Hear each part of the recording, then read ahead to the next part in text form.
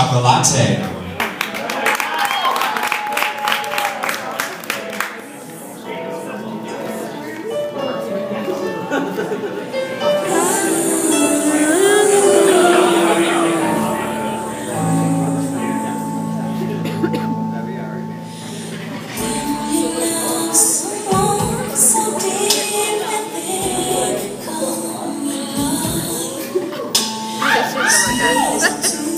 Damn. Uh-huh.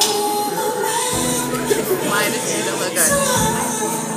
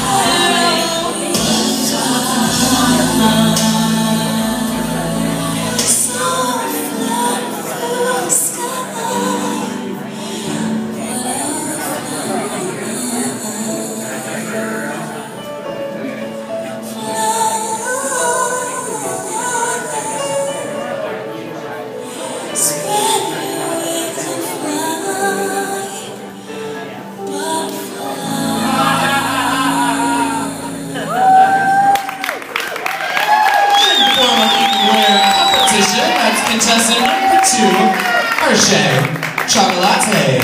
And I believe all of our judges are ready for the next category, correct?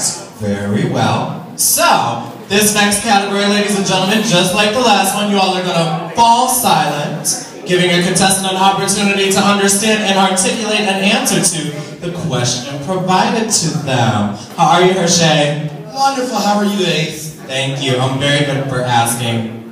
Thank God there ain't no score sheets for me, bitch, because I would have bombed that one. Okay. Please select an envelope. I'll read the question to you and give you an opportunity to answer. It's not a check, bitch. I already looked. Okay.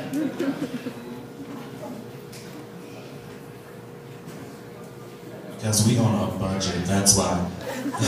Your question is as follows. As an entertainer, what sets you apart from the other contestants this evening? Once again, Hershae, your question is, as an entertainer, what sets you apart from the other contestants this evening? Good luck. Thank you, Ace. Good evening, Spiral. How y'all doing? Y'all all right? Okay. In response to the question, the thing, there actually are more than one thing that sets me apart, but we'll start with my versatility. I don't know about all the, you know, entertainers, but as far as I know, I'm the only one that sings live, that can dance. I, I do everything. I'll do a ballad, I'll do a back bend, I'll bend over backwards for you because that's how I roll. I travel all over. I have a website that reaches everyone, of course, worldwide. I got a powerhouse promotion team behind me, my husband. And yes, thank you. Give it up for my husband. Yes. Yes, put my website together. I have an email newsletter that goes out every week. Every Tuesday, some of you are on it, and I know it. And these are just some of the things that set me apart from the other entertainers. Thank you. Thank you, Hershae. One more time.